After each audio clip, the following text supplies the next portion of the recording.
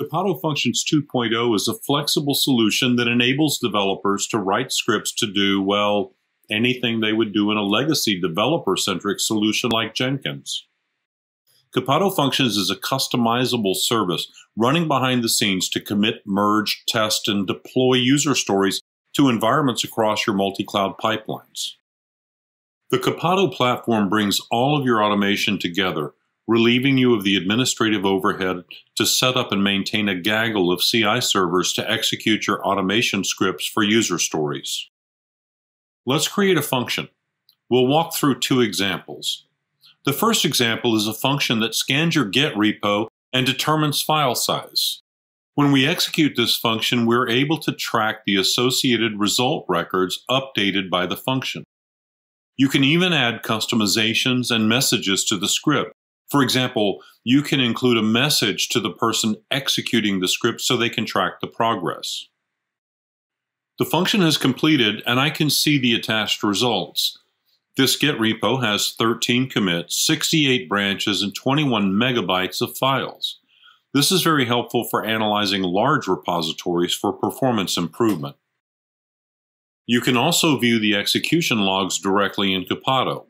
By clicking here, you can see the timestamp and all the activity within the function, including executed commands and any messages. The second example I want to share is a function that installs a second generation package into an environment. This is a bash script. Functions also support Python, Node, and JavaScripts. I want to install this package every time a user story is deployed to an environment in the pipeline. To do this, I want to go to the user story and add a deployment task.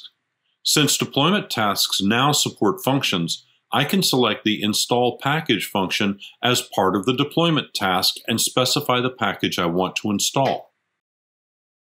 I'm going to use the Dreamhouse package in this example, so I copy the package ID and paste it in the deployment task of my user story. Now that I've saved my task, Every time I deploy this user story to a new environment, it will deploy the metadata that I've committed and also install the package.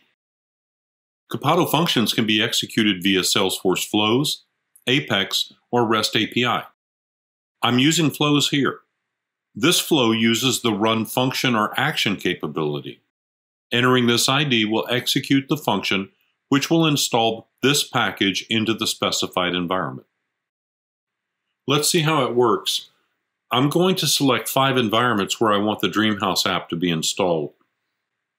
Click on the Install Second Generation Package button to start the custom flow where the package ID gets entered.